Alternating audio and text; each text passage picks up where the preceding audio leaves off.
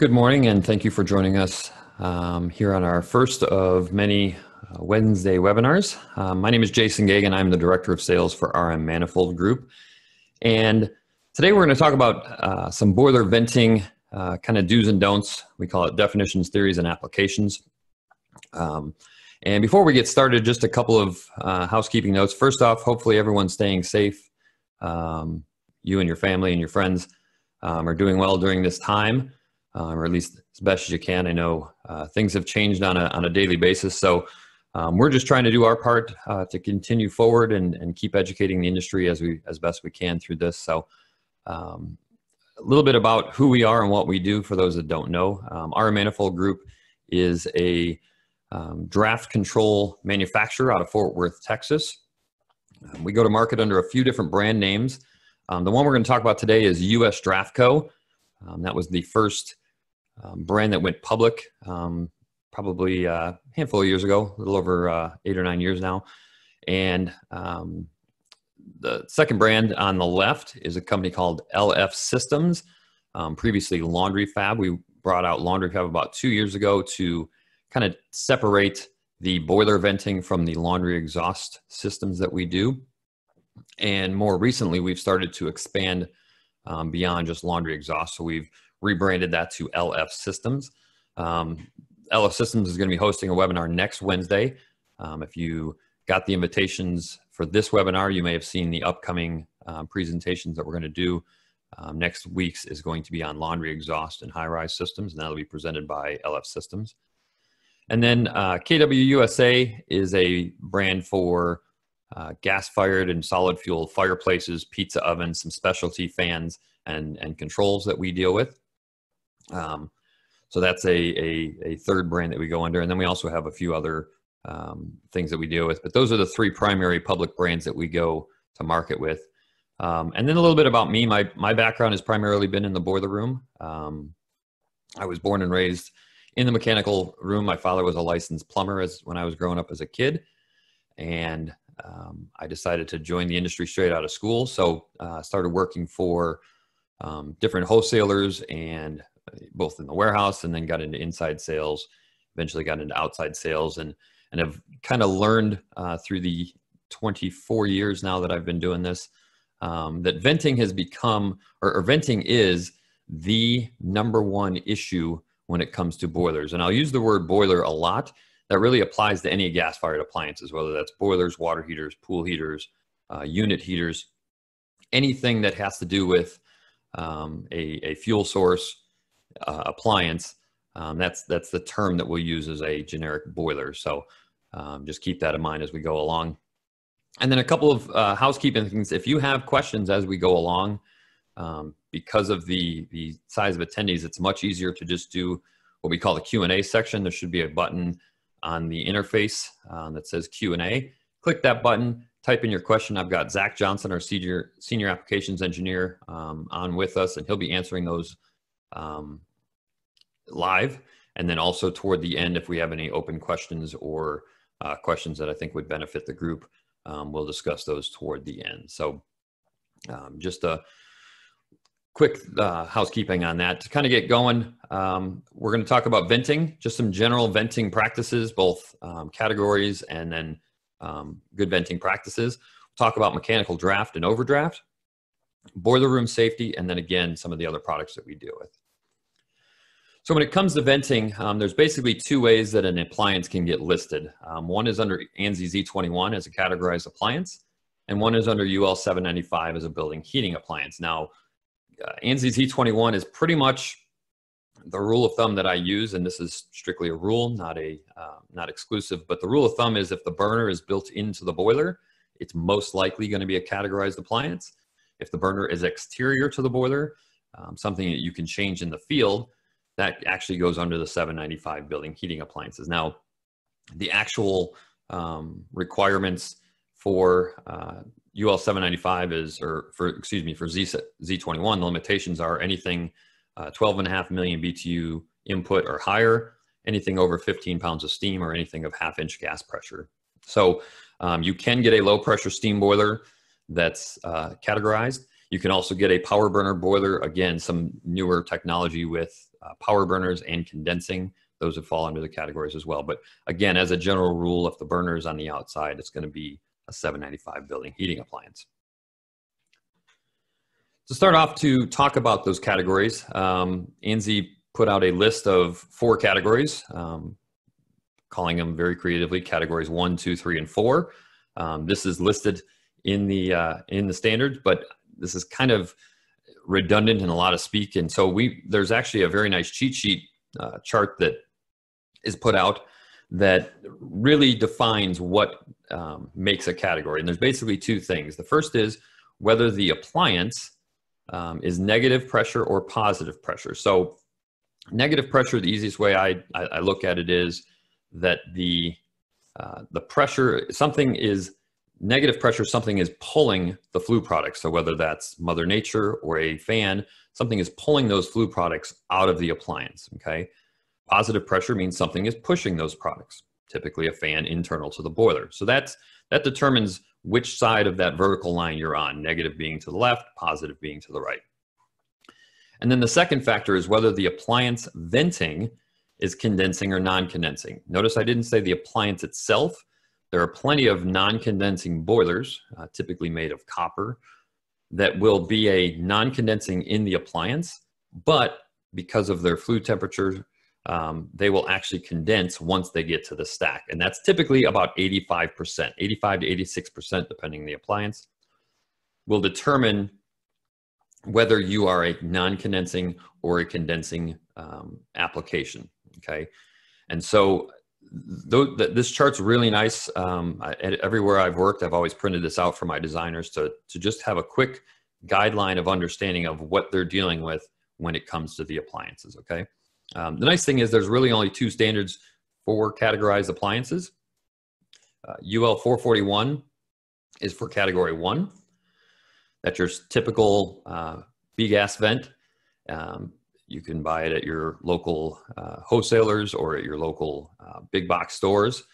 Those go on 80% efficient, you know, furnaces and water heaters and that type of thing. For most people are pretty familiar with uh, B-vent. Categories two, three, and four, that falls under UL 1738 special gas vent. For um, category two and four, it's due to the corrosive nature of condensate. For categories three and four, has to do with the pressures, okay?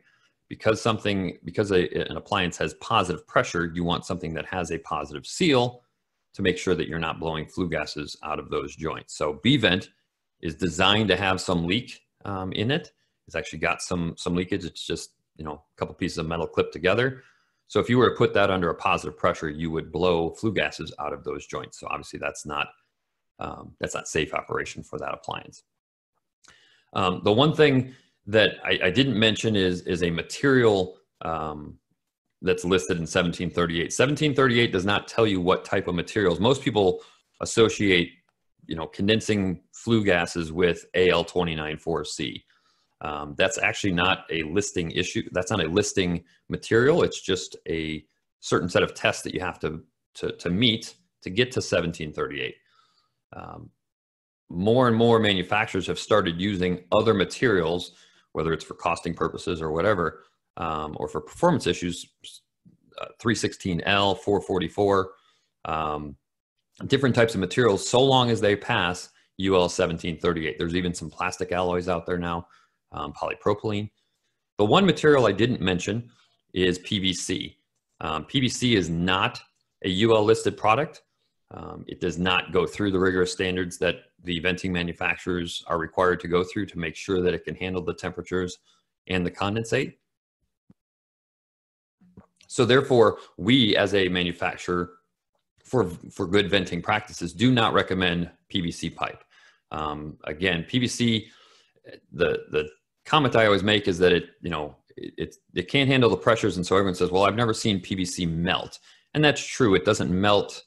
The, the, the, the picture that everyone gets is that you take a straw with a big lighter and you melt the straw. That's not actually what happens. The, the heat, uh, PVC's temperature is about, melting point is about 155 at atmosphere. And so what happens is if you exceed that temperature, the flue gas or the pipe itself, the, the molecules in PVC start to move and you get this nice yellowish brown hue on the outside of the pipe. And that's really, you're burning the pipe. Actually, what you're doing is you're changing the structure of the pipe to where it's no longer PVC, it's just a brittle plastic. Very, like I said, very brittle. You crack it with your knuckle and it'll crack open again, uh, exposing flue gases. Many people then say, well, that's why we use CPVC, and that's true. CPVC, CPVC does have a higher um, temperature rating. Um, it's about 190 at atmosphere. The problem is, is that it still has those issues. It still doesn't go through the testing. Um, so as a, as a venting uh, manufacturer like we are, we just recommend using products that have gone through the UL listing uh, process, that have tested for that application. Um, again, the, the letter you see on the screen, it's a little bit older, but um, Charlotte pipe manufacturer put out a letter basically says don't use our pipe for uh, for venting of these appliances. Um, so again, as best practice, we just recommend to use materials that are listed for UL 1738. Now on the bigger boilers, UL 795, these are typically your big commercial industrial appliances. Again, power burners, um, high pressure water or steam. Um, and the, the temperature rating for um, the flue gases can be anywhere from 1,000 to 1,400 degrees um, based on, again, your pressure and your temperatures. So for that, you need a venting material that can handle those temperatures, and that falls under UL 103. And this is a little bit where some confusion comes in. People think, well, my power burner boiler is non-condensing because it's you know 400 degree flue temperatures, and it's positive pressure because the power burner is pushing flue products Therefore, I must be a category three. That's factually not correct. Um, again, that boiler would fall under 795, which does require a different listing for your flue type or for your, for your chimney. So um, that's where UL 103 comes in. It's different materials, um, different pressure rating. That, that has to do with uh, some generator exhaust as well. Most boilers don't run up to 60 inches. Um, and then your, your flue manufacturer will determine based on your application um, what type of insulation, whether it's an air gap, a fiber gap, you know, one inch, three inch, four inch, whatever the application and based on their product. So um, most venting manufacturers and most venting reps can can help you can guide you through the process of selecting the right product based on the appliance you're giving them. So every appliance um, will list in their manual what they're listed to, whether it's 795 or a categorized appliance pre present that to your venting manufacturer and they can help again guide you through uh, to get their correct product. Now, when it comes to sizing gas vents, um, there's basically two things that we use, um, NFPA and the ASHRAE handbook. NFPA basically tells us what we can and can't do, and ASHRAE tells us how to accomplish it, okay? Um, the, the first thing we look at is the ASHRAE chimney design equation, and this is an equation that many of you are familiar with. Um, maybe you've never seen it printed out in this format, but there is a problem. Um, and I state this as a proud member of ASHRAE. There's a problem with the ASHRAE chimney design equation. The problem is that this is a steady state equation. This is a snapshot in time based on your current BTU input, based on your current, current flue gas temperatures. And the problem is, is that in today's uh, industry, we're not selling on-off boilers. And so therefore, if your input changes, your flue gas temperature changes, which means the diameter of your pipe should change. It's very difficult to get a modulating uh, pipe in the in the market today. So, but this is a steady steady state equation that we'll start with. This is a good uh, starting point for us. We also have to determine the pressure loss. Uh, again, a whole bunch of letters, numbers, and symbols that you may or may not have seen. Um, and with that, we can determine what the theoretical draft is. Now, theoretical draft is based on two things. One is the height of your stack, and one is the delta between ambient and your flue gas. Okay, the taller your stack, the more theoretical draft you're going to, to, to have. The bigger the delta between ambient and flue, the more draft you're going to get. That is why a boiler from the 70s and 80s that were 70% efficient, very high heat loss uh, through the flue. That means you got a lot of natural lift because there's so much heat left in that flue gas um, that wasn't put into the to the fluid. Um, same thing with again, if you go out to a power plant where they have these really tall stacks, they're going to get a, not, a lot of natural lift because there's just so much time for that for that flue gas to uh, to take off. So, and just a quick example on a on a single story, uh, you know, 20 foot stack, the difference between a category one and a category four appliance. Category one, you're going to get about a tenth of an inch of theoretical draft. That same exact stack with a category four appliance at low fire gets you about four hundredths of an inch. Not a huge difference. Um, it doesn't seem like there's a lot of change, but if you're right on the cusp of that appliance and you change from a, a category one to a category four, or vice versa, you go from a category four down to a category one, you might see some either not an insufficient or um, excess draft readings. And then the same thing's true for um, your the height. Again, if you look at this chart, anything that's over four stories um, on a category one appliance, you're going to overdraft that no matter where you are in the country. Whether you're in the Northeast, you know, at zero degrees or down here in Texas at 105 degrees, you're always going to be overdrafting that appliance. Now, for years, we've used devices to overcome that uh, excess draft. It's a mechanical draft device called a barometric damper. And a barometric damper, what that does is it soaks up anywhere from two tenths to three tenths of an inch, depending on the size. But what that does is it's allowing excess cold air into the stack to cool the flue gases down, which then slows the, the um, slows your, your theoretical draft, right? But and, and that's worked for years on category one appliances. The problem is is that we're not selling, we're not installing, we're not designing category one systems as much as we were 20 years ago. So we're also seeing more and more um, where we're doing common venting, where we're taking three or four appliances and putting them into a single stack, whether it's a replacement retrofit job taking out one big fire tube, putting in four copper uh, or stainless steel um, boilers, want to reuse that one penetration. And what you'll see is, depending on how many boilers are running, depending on the, the stat, status of the stack, whether it's hot or cold, you'll see swings anywhere from uh, 15 hundredths of an inch negative all the way up to about a tenth, maybe 12 hundredths of an inch positive. And many boilers can handle that swing on an individual basis, but when you put them into a common vent, you never want to see that kind of swing because a, a boiler really wants to kind of find a sweet spot and just stay there. And so that's where mechanical draft comes into play. Um, US Draft offers three different style fans. We offer a termination style fan. We offer two inlines. Um, by code, everything must go through an appliance interlock. Okay. Um, we are UL listed to 378 and 705, both in the US and in Canada. Um, so this is a, a great opportunity for you guys to see that we can go from natural venting to mechanical draft, and we'll show you some of those advantages. Um, everything we do comes with a high efficiency motor. Our three quarter horse and below um, come with a EC motor, electro electronically commutated motor.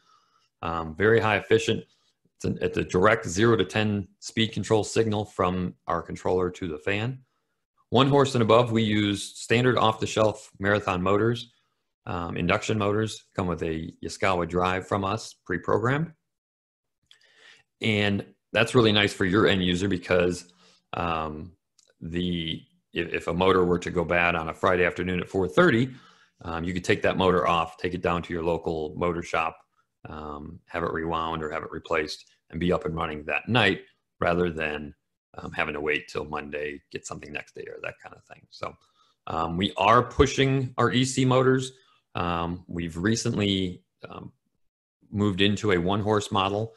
There's still some crossover and we're still finalizing some of that throughout our, our throughout our catalog, but you'll start to see one horse motor EC motors or one, one horse EC motors uh, coming out here really shortly.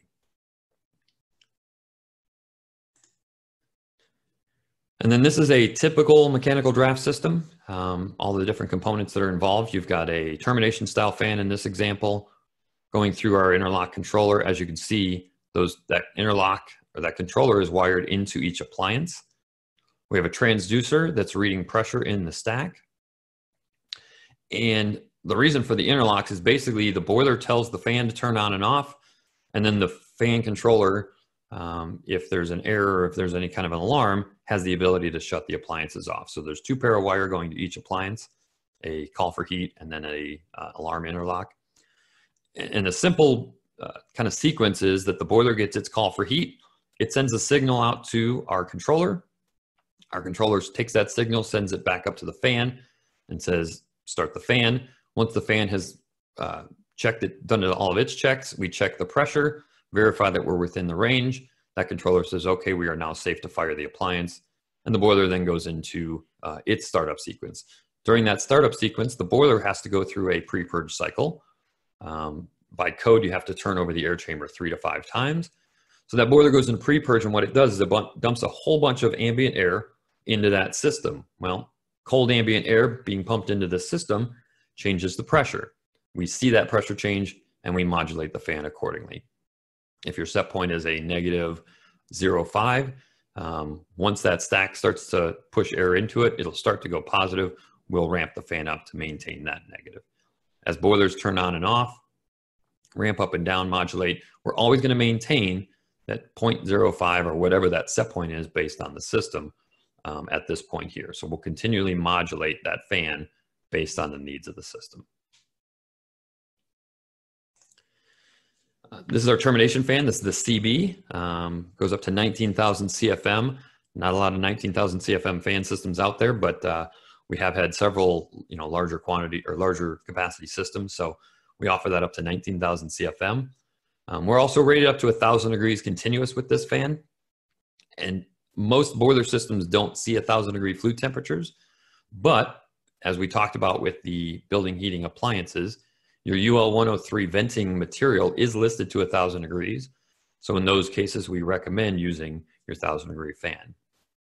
Again, EC induction motors, all of our fans come in stainless steel, either 430 for a low grade or 316L for the higher grade stainless.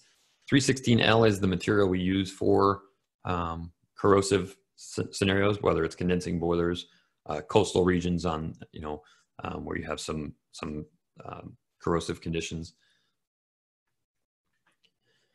Our inline fans, we coined the term true line fan construction because it is a true inline fan. Um, our 90 degree fan shares the X and Y plane. And the inline fan shares the X, Y, and Z, okay?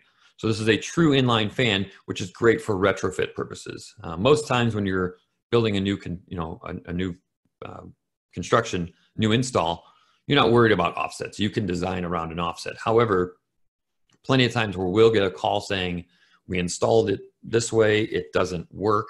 Can you help fix it? And the easiest solution is to take out a piece of pipe, put in a couple of adapters and put an inline fan. You don't have to worry about rehanging the pipe downstream because the pitch should stay the same. Everything should be the same because we are a true inline fan or maybe we'll replace a, a 90 uh, degree elbow or maybe a boot tee in the system with the, with the 90 degree fan. So it makes it a really nice uh, retrofit repair type, um, type fan. The TRV um, goes up to 9,000 CFM. Again, it looks a little, little uh, cattywampus here because of that inline. We wanted to make sure that we kept the inlet and outlets um, on the same planes. Um, again, 9,000 CFM. This can be installed outside. Um, we are rated for outdoor applications with this. My first uh, project visit with the company about five years ago was on a rooftop in Denver, Colorado. We had two of these um, side by side in a parallel configuration, and they're still going strong today um, with, with no issues.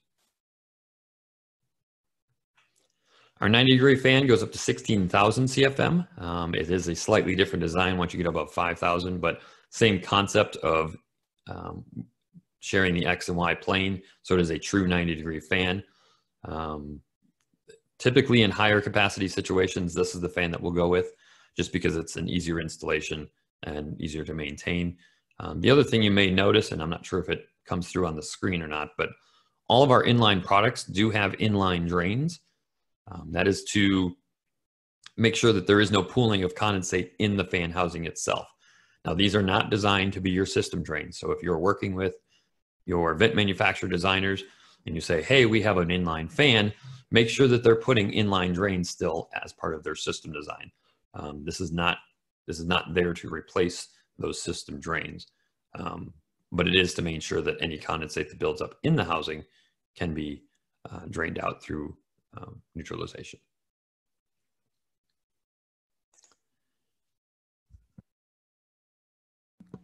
We've talked about how to create draft. Um, basically, that's that's for this segment up here, right? If we want to maintain, let's say a negative 05 again, anything that's up here, we're not getting enough draft, right? So we want to create draft through the fans. But what happens if we have too much draft? Let's say we're at full fire and it's you know dead of winter, so we're going to get a little more excess theoretical draft, or we start really taking off on draft. Well, how do we slow that down? Well, there's a couple ways to do it. Um, one is through an inline modulating damper. Okay, so we'll put a multi-blade inline damper in the system using the same transducer, same controller, and then on this system we still have a fan. But what happens is, as the if the boilers need draft, the fan will ramp up and maintain that pressure. If the pressure starts to really take off and get deeply negative, the fan will ramp all the way down to its lowest set point or lowest speed. And then we'll start to modulate that damper. Um, it, it's a modulating control valve for the water side guys, right? So we're just creating false back pressure by choking off that vent and slowing down that draft, okay? Um, and really that's what it is. We're just creating more back pressure, which offsets the excessive um, theoretical draft. Um, this is the OBD, our multi-blade damper. Um, comes with a two second actuator, um, full open to full close, so it is very quick reacting to the changes in the system. Um, we've actually recently updated to a thousand degree operations on this, so this is actually um, can handle your UL 103 systems. Um, we also have an on-off op, um, an on-off option on this to where you can have an in switch or the modulating version has the feedback signal so that we constantly know the position of the damper um, through our controller. Okay. Um, it's available in 304, 316. I can count on one hand the number of 304 dampers we've sold uh, the four or five years I've been here. Again, um, this all of our inline products come with a raw collar or flanged option. So when you're dealing with your vent manufacturers, you say, hey, we're using the US draft uh, OBD with a TRV, and we want to do a raw collar. You would ask your vent manufacturer for a universal adapter or a um, an appliance adapter, again, depending on which manufacturer you're working with. Just tell them that you have, you know, raw male collars. They can provide the right adapters. If they prefer to be flanged, we provide the flange adapters to go to a standard um, universal flange. So that's that's the components in the vent itself, but and we do things a little bit differently than some of the industry. Um, again, stainless steel on all products is is a big one. Um, we just feel like that's kind of the next level. Um, when we came to market, that was a that was a industry requirement um, that hadn't been fulfilled yet. But where we feel we go three or four steps further um, than the industry is in our controls. And the biggest example is what the industry was doing to what we're doing. And what the industry standard has been for years has been negative pressure. Um, most controllers on the market have read, and some still do read, from zero to 0.6 negative inches of water column. And that has worked um, for years with category one or power burner boilers where you want to keep it at a, you know, you may set that set point to a 0.2 negative and everything will be fine. However, as more and more appliances are becoming more and more um, technologically advanced, those those boilers now want to be as close to neutral as possible at the outlet. Well, you can't set your common for two tenths of an inch negative and still be neutral at the outlet. So we're actually seeing our set points are getting closer and closer to zero. So in this example, showing a negative 0.04, right? The problem with that on a older technology controller is as the boiler turns on, your fan speed or the, the boiler fan kicks on and goes into that pre-purge that we talked about, and you'll see a huge spike in your pressure. But the problem is, is that that controller has a ceiling of zero. So it doesn't see anything above zero. Okay. So according to the controller, it's four hundredths away, four hundredths of an inch away from set point. But in reality, it could be as much as a half an inch. Well, these controllers work on PID loops, which is a learned process. So the closer you are to set point, the slower the reaction time is. Further away you are, the faster reactor time, right? And so if it thinks it's four hundredths of an inch away, it's pretty close. So it's going to slowly ramp the fan up to try and get to set point. Okay. Now, eventually it will get there. Okay. And taper off. But it takes a very long time. With us, we actually read plus or minus one inch. Okay.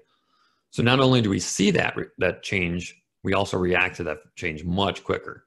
Okay. Typically 50 to 60% faster than industry, the other industries, can, you know, other controllers in the industry. Now, truth be told, if this is on a single boiler application, um, in most cases, this will re- kind of um, fix itself during that pre-purge state, right? In that 15 to 30 seconds. However, most systems that we're installing today are not going on individual boilers. They're going on multiple appliances um, that are constantly changing, um, you know, which boiler's firing, what the boiler firing rate is. Let me show you an example of what could happen on a system that's running um, with a, a older technology controller. So if we're running one boiler, um, the furthest boiler on the left is in is is running, and set point is a 0.05 negative, and everything's running great. Now the master boiler controller says, "Hey, we need more heat. Let's bring on a second appliance." So that so that's that boiler goes into its pre-purge cycle. So now you've got, you know, um, burning flue gases, you know, hot flue gases going in here. Then you've got cold ambient air going in here, which is going to just completely create havoc in your system. What happens is this thing could go so positive, it will actually start overcoming the fan and pushing back to create a positive pressure in this common. The problem is, is that this boiler has a block flue switch. If the, if the flue gases exceed so much pressure, it will actually shut the appliance off. So we'll create a blockage on this boiler, which shuts the boiler off, but the fan reacts and, and ramps back up to where it now gets to set point for this appliance to fire. So then this boiler fires, starts to ramp up. The master controller says, hey, I still need a second boiler. We've lost the first one. I'm running the second. Let's turn on the third. It starts to dump a whole bunch of cold air into that stack, creates a blockage, pushes on the block flue switch, breaks that switch, shuts the boiler off, and you create this cycling issue. You create a short cycling problem. And the problem is, is that you never see it unless you catch it in action. Okay. Because you'll you'll look at your your trending pattern on your boiler and it'll say that we have you know 300 run hours and 6,000 starts. That's that's a that's a bad thing for that boiler. You're typically you typically want no more than four to six starts per hour of run. Okay. And so if if you see that, if you see a boiler that's short cycling um, on a common vent system with a draft control, that may be your situation where your your set point is just too close to zero, too close to neutral, that the boiler the fan can't react. Okay, but or you could change out that controller, put in a a um, a newer technology controller like the one from US Draft. The other reason we do this again is is your set point is going to be in this range here. It just doesn't give you a lot of window, okay?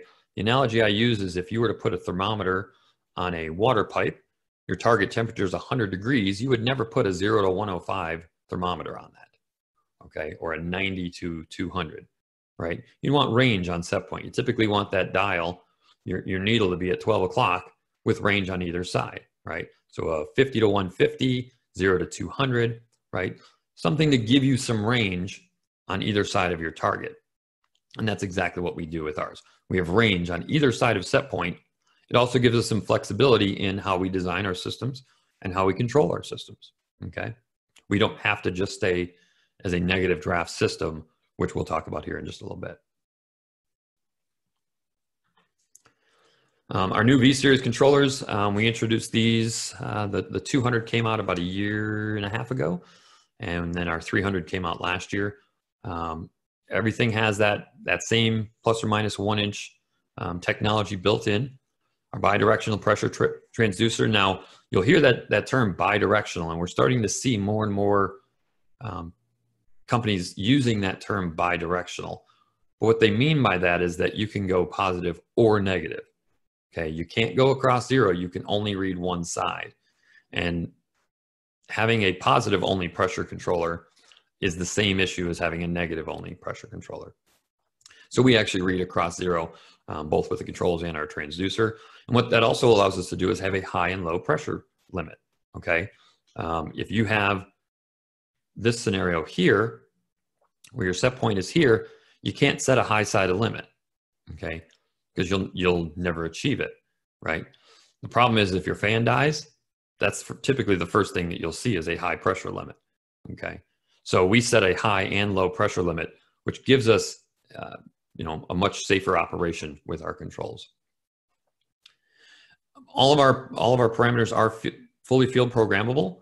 So while we have um, what we call factory settings, you know, our standard defaults, um, every system is different. And once the system gets installed and once it's, um, once you start going through your commissioning process based on your sensor location, the number of appliances, how far the sensor is from the furthest boiler, all of those things will determine how you have to commission that system. And so we've made sure that all of those, um, not only just your set point and alarms, but your uh, your PID loop, your filters, your alarm timers, um, any delays that you may need. All of that is field programmable by the commissioning agent to make sure that the system is adjusted for that application. Um, multiple programs that are built into this. You, if you order a vent system, it's going to come with a vent program.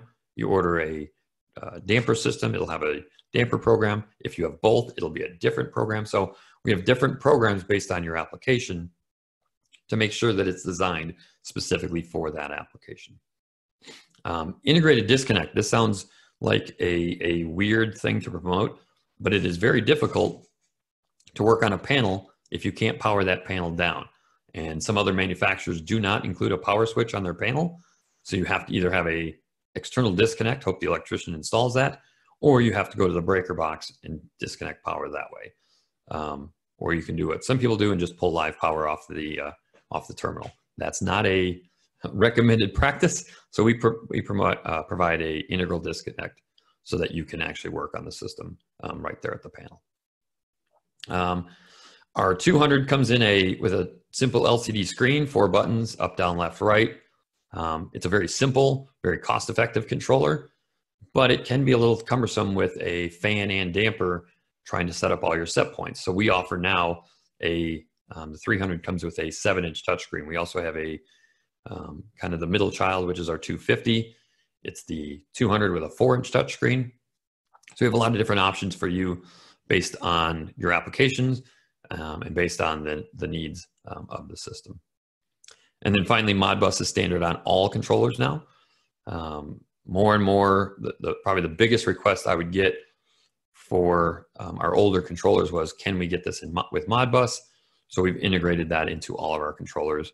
Um, we do offer a gateway to go from BACnet, or excuse me, from Modbus to BACnet or LAN, if that's something you prefer, um, or your, your local BMS guy can uh, provide that gateway as well.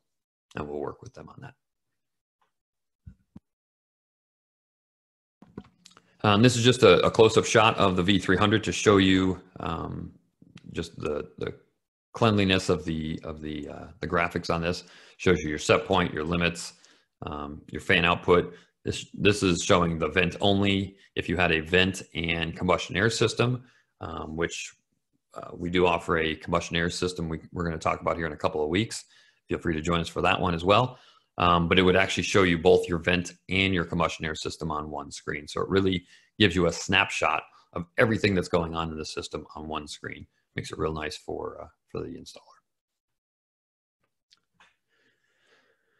Okay, so the what we've talked about so far is some of the applications, and, and a lot of times where we'll um, we'll get calls is, hey, the boiler doesn't work properly, or hey, um, the boiler manufacturer doesn't allow this. Can you install? Can you quote us a fan? And we say absolutely. We have to work with this. Where we other times where we get into problems is for code violations. Okay, um, code basically says you have to do certain things or you must be an engineered system. Uh, mechanical draft systems like US Draft fall under that engineered system category. So uh, the first code that we deal with a lot is, I call it the 10 foot, three foot rule. Basically anything that's within two to three feet, depending on what it is, you must exceed anything within, excuse me, anything within 10 feet, um, you must exceed it by two to three feet, whether it's a parapet wall or a pitched roof. Um, and reason for that is you want to make sure that you're clearing any obstructions. Now, several people will ignore that and they'll just do um, stuff like this. And this is the this is typically what we'll see is we'll see a, a standard curb with a cap right on the top. Um, obviously, that's not three feet above the, the, the roof. Um, here, they're going sidewall with some B-vent, and that's not allowed to go sidewall with B-vent because like we talked about, sidewall is now category three, and um, B-vent is not listed for positive pressure. So they say, fine. I say, you can't terminate horizontally with, with B-vent. They say, okay, we'll put a 90 in a piece of pipe, and we'll call it vertical. Well, that's not exactly what that works because you still haven't cleared this wall. So then they try and add more B-vent. Can't have more than five feet of B-vent exposed. So long story short, there's no way to fix this naturally. You could put a fan on it. Um, this one, they cleared this wall here or attempted to, but they forgot about this wall here. So that's, that's a code issue. And then this one, I can't fix that with a fan. Um, that's a exhaust pipe going into a makeup air unit.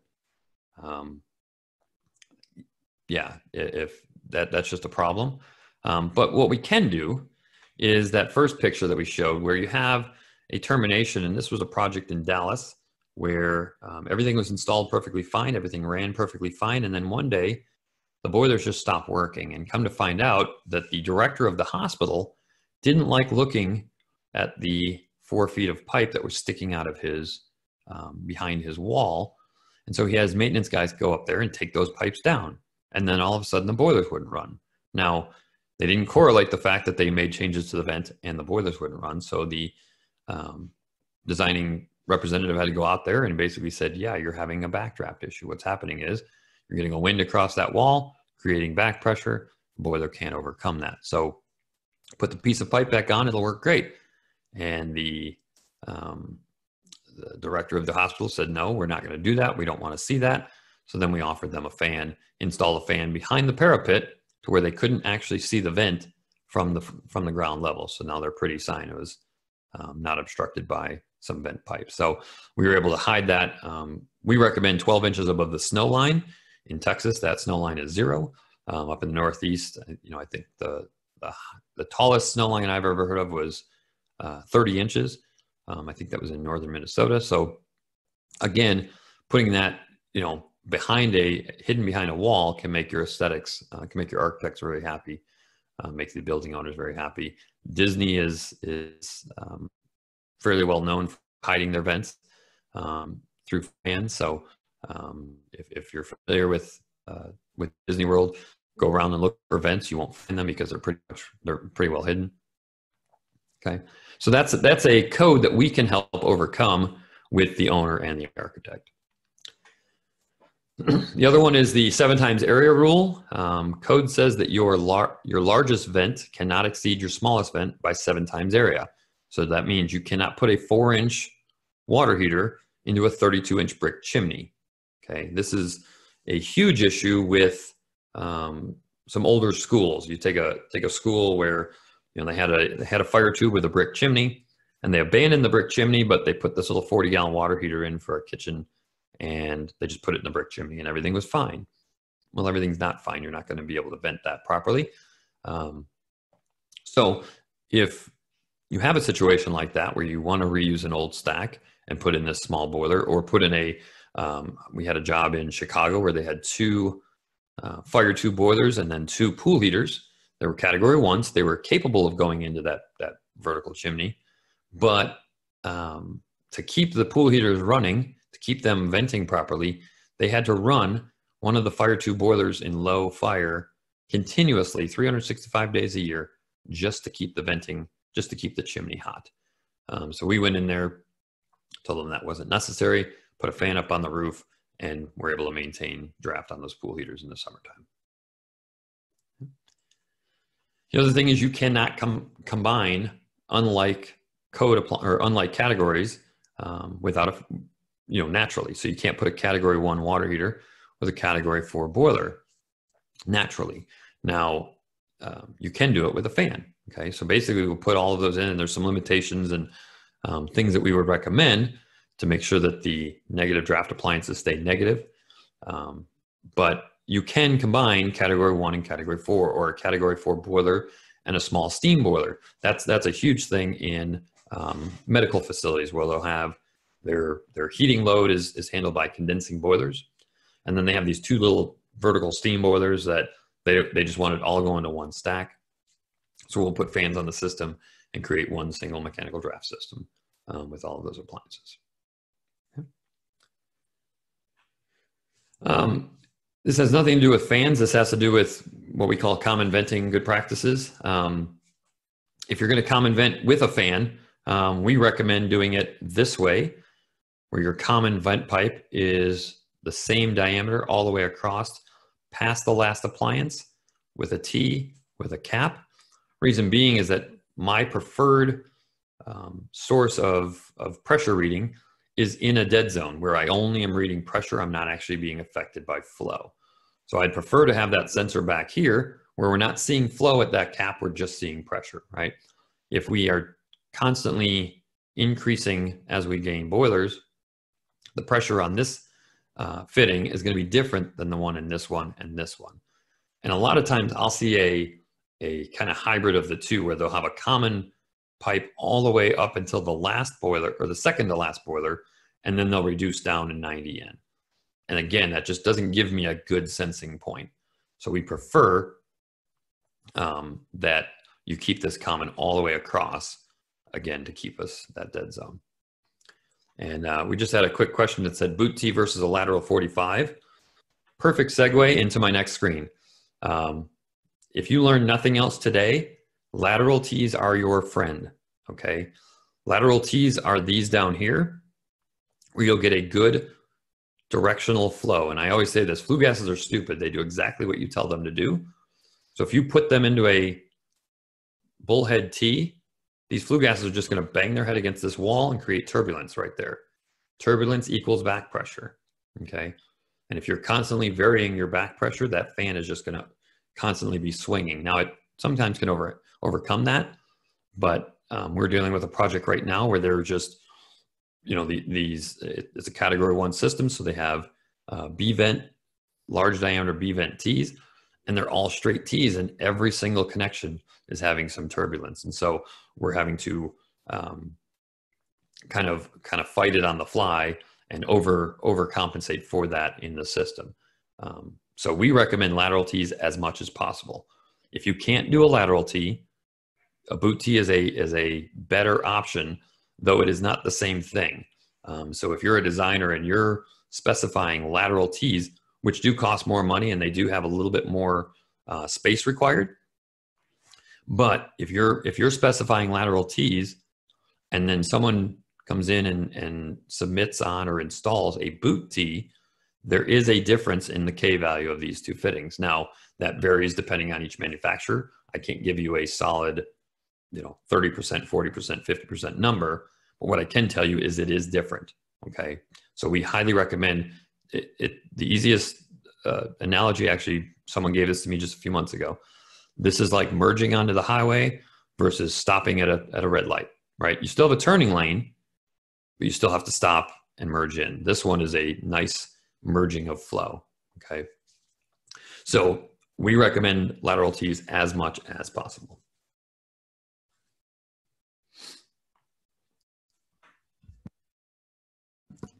Okay. Last thing is um, we've talked about everything we've talked about so far has been about the system. Okay.